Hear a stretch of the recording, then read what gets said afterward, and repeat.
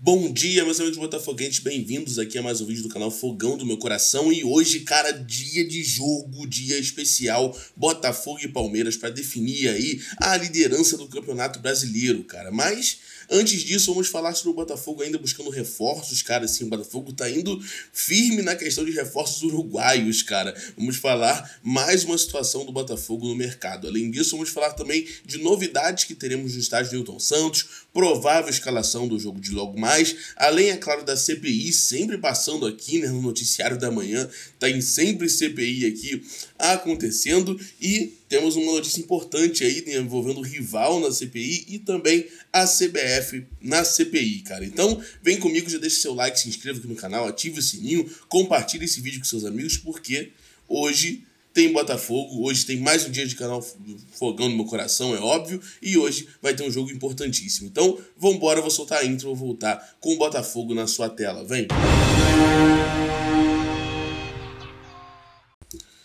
E segundo eu, Carlos Portinho, o cara a CBF mentiu para a CPI. Sim, a CBF teria mentido para a CPI, cara. Vamos ver aqui o que ele falou e entender, tá bom? É, no Twitter, né, o senador Carlos Portinho trouxe à tona uma acusação séria contra a CBF. Ele teria, ela teria fornecido informações falsas à comissão parlamentar de inquérito, tá? O Portinho expressou sua preocupação com as repercussões dessa suposta falsidade, enfatizando que as consequências para aqueles que mentem a CPI são severas. O, o, o Portinho falou o seguinte, ó: "Opa, a CBF mentiu para a CPI de dia 6 vamos expor e debater.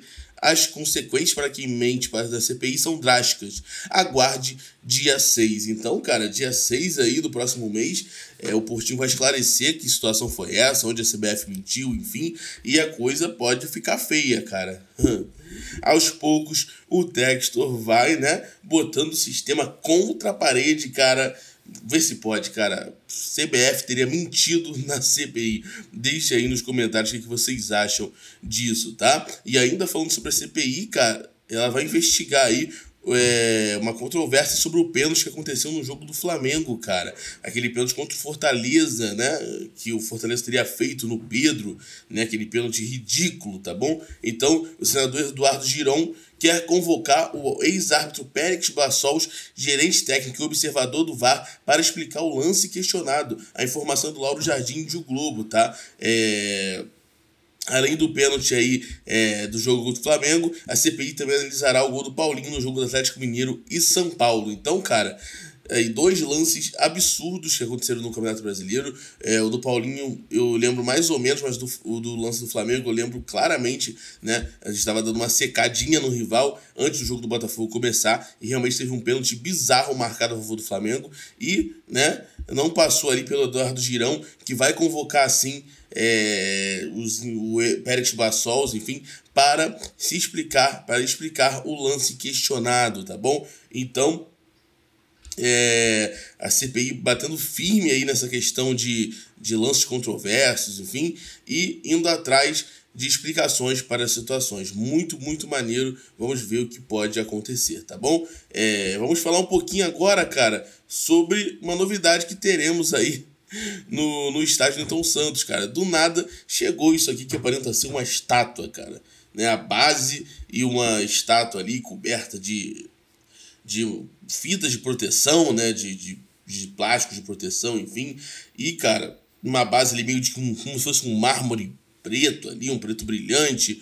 Então, essa estátua ali está na frente ali do setor leste, acredito que ainda da parte de dentro ali do estádio. É uma estátua bem grande, cara. Tu vê que o pessoal em pé bate nem na canela dela ali tá vendo? E não sabemos o que vai, o que erra ainda, não sabemos, né, se é algum jogador, se é alguma ação da parimédica que vai acontecer ali. Porém, cara, devemos ter novidade aí na na arrumação do estádio Newton Santos, né? Devemos ter uma novidade aí no setor leste, cara, ao longo do jogo. Vamos descobrir aí que estátua é essa e vamos trazer para vocês, é claro, antes do jogo, né? Obviamente, já deve estar tá, é, descoberta essa estátua. E falando do jogo, cara, o Botafogo tem a volta aí de Bastos e Tiquinho Soares para o duelo contra o Palmeiras, tá? Bastos e Tiquinhos que cumpriram suspensão diante do Vitória vão voltar contra o Palmeiras. Além disso, Igor Jesus e Alan também foram relacionados, tá? É, por outro lado, o Botafogo não vai contar com o meia Eduardo por lesão muscular, né? Será desfalque. A provável escalação do Botafogo é a seguinte, ó.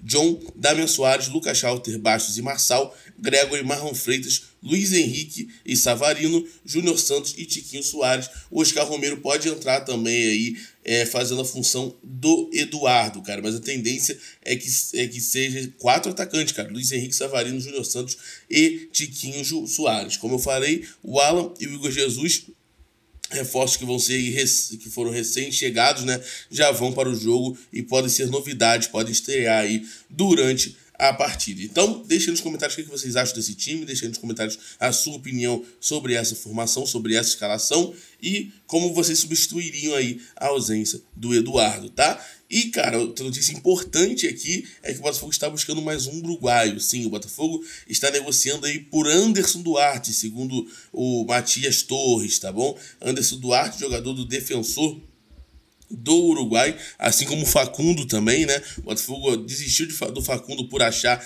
que era, já tinha muito volante no elenco, enfim, e tá atrás desse cara aqui, Anderson Duarte, que, cara, tem 20 anos, né? É, vamos botar até aqui o transfer market do jogador. Ele é um atacante, tá bom? Ele já passou pela seleção uruguaia sub-20 e só defendeu aí o defensor, praticamente na carreira, né? Muito novo, moleque muito novo, só defendeu aí o defensor. Tem três títulos na carreira, tá bom? É um ponta direita, tem 1,75m e tá aí, cara, tá aí. Ele veio da base do defensor, como eu falei, cara. Nessa temporada aí ele tem é, seis gols e quatro assistências. Então, Botafogo ainda atrás de atacante, como eu falei, podemos ter surpresas aí é, nessa janela de transferência e não deve vir somente os jogadores que a gente achava que viria, né? Deve vir mais jogadores, deve vir mais novidades, tá bom? Bom, galera, o vídeo de hoje foi esse. Hoje um jogo importantíssimo.